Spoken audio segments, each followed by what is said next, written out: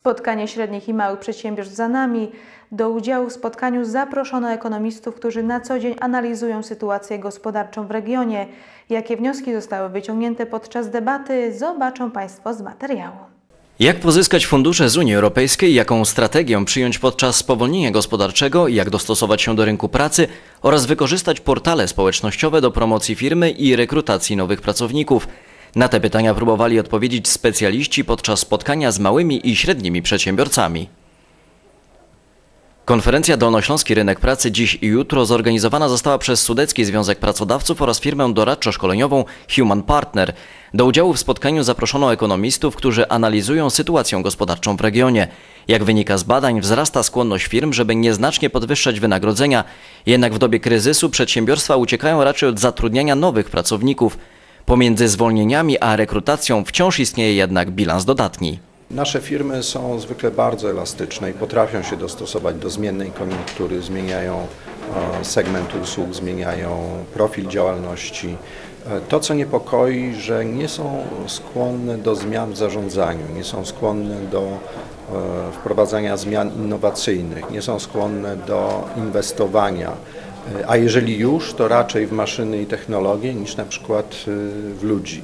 Spowolnienie gospodarcze, jak się jednak okazuje, może być okazją do inwestowania i rozbudowywania przedsiębiorstwa, a także podwyższania kwalifikacji swoich pracowników. Specjaliści nie zalecają podejmowania strategii stagnacyjnej, chowania się i przeczekiwania przez firmy trudnego okresu, pomimo spadku popytu na produkty i usługi.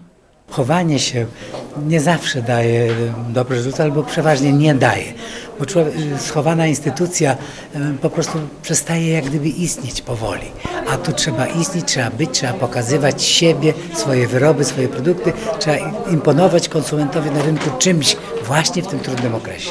Firmy mają do dyspozycji gro środków z funduszy unijnych, które pomóc mogą przetrwać spowolnienie gospodarcze, a nawet rozwijać przedsiębiorstwo inwestując w nowoczesne technologie. Choć perspektywa finansowa Unii Europejskiej kończy się w 2013 roku, rozpocznie się również nowy okres dotacyjny, w którym szacuje się, że jeszcze więcej środków zostanie przeznaczonych na rozwój małych i średnich przedsiębiorstw.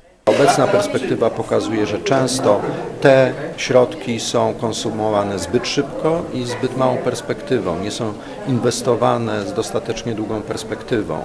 E, Stąd też pomysły, żeby część tych środków nie była przeznaczana na bezpośrednie zakupy na przykład maszyn czy technologii, tylko żeby były to pieniądze zwrotne. Wówczas przedsiębiorcy będą musieli dobrze się zastanowić, czy to im się do końca opłaci i czy to ma jakiś sens biznesowy.